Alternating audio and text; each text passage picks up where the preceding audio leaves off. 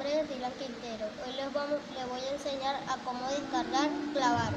Clavar es un programa donde aprendemos a, a escribir en nuestra canaima con en nuestra canaima o en.